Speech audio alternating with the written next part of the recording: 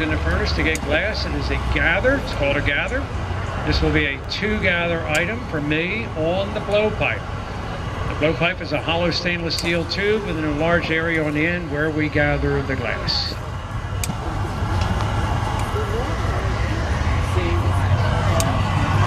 The temperature inside the furnace is Oh, about can feel that 2200 degrees Mm. Fahrenheit. I can literally feel that. And when this tank is full, it holds 200 pounds of molten glass.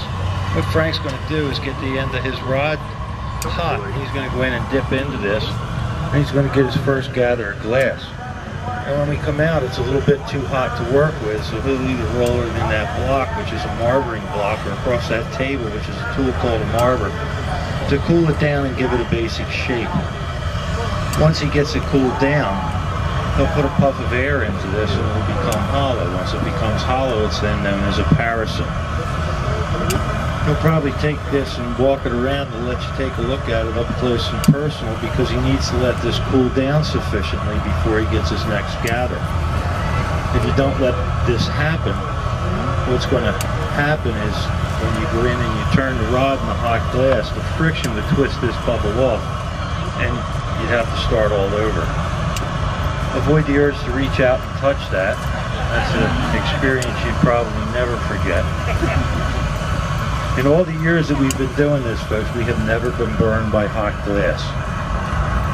And neither has the public. So let's not start today. Yes, on this temperature. As long as that glass is moving, it's about 2,000 degrees Fahrenheit. Now when he goes in for his next gather, he'll have a lot more than he had the first time because he has a larger surface area to gather on. When he comes out this time, he'll go directly into the marvering block. It does the same thing as the marver table, only it accommodates a larger bit of glass. And then he's going to let this sit and cool a bit, and then we're going to apply two colors to this. So I'm going to have to leave the mic um, so that I can heat these to make them workable for his piece. We can only work with one color glass in the furnace at a time, and we're working with a light blue. So we're going to add two bits to this. One of them is white and one of them is orange. And he's going to do them in two different directions. Uh, and as he's turning the pipe on this, uh, some of you folks might become a little dizzy. Jimmy's going to go get a uh, a rod that already has a bit on it. He's going to start out with the opal bit, which is, it looks white, um, and it is white when it uh, cools down. And he's going to bring the pipe with the opal bit on it over to Frank. And Frank is going to take the rod he's going to touch that opal bit to the body of his piece here, and then he's going to roll away, and that's going to pull a strand of that opal glass off and wrap around the body of his piece.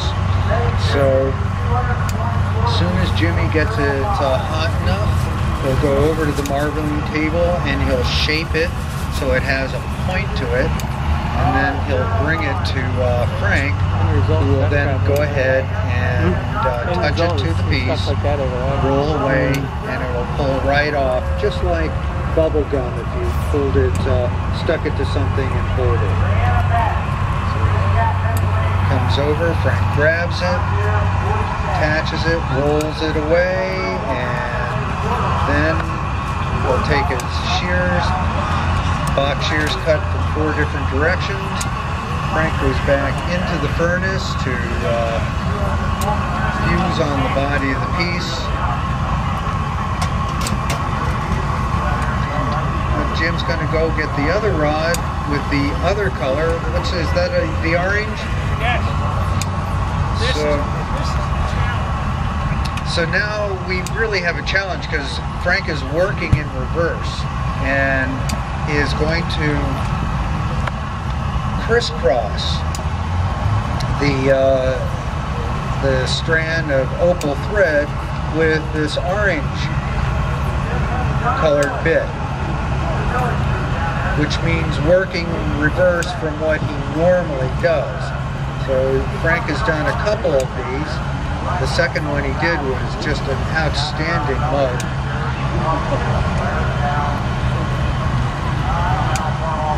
When we finish this piece, it's going to go into that silver box on the end of the uh, flatbed trailer. There he grabs it, put it down. There he goes, wrapping it around, wrapping it around crisscross, gets to the bottom of the piece and cuts it. And it's difficult because he is using his left hand to manipulate the box shears.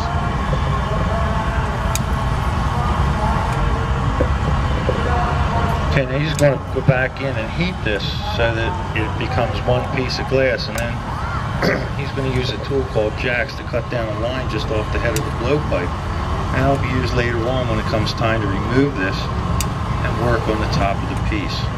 Most pieces that you make, you work on the bottom and the body first, then you crack the blowpipe away and work on the top. This is an all-volunteer operation. We represent Wheaton Arts from Millville, New Jersey. It's about three and a half hours south of here.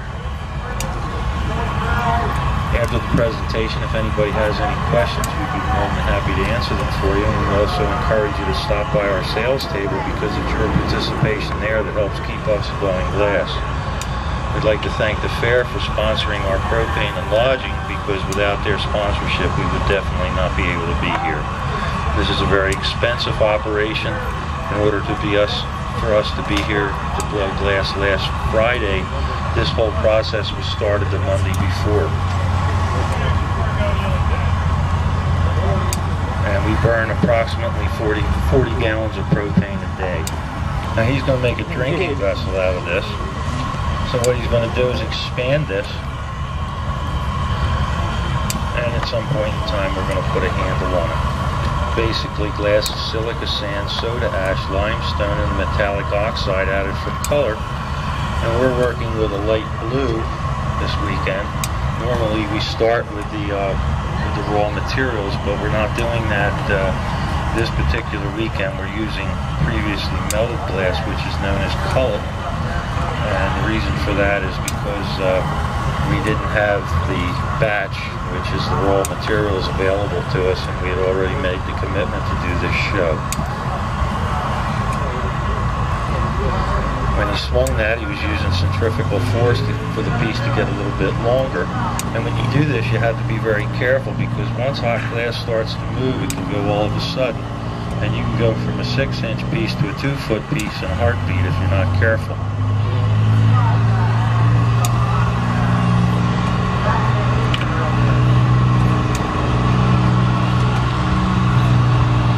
redefining that cut down because this is where the piece has to come off.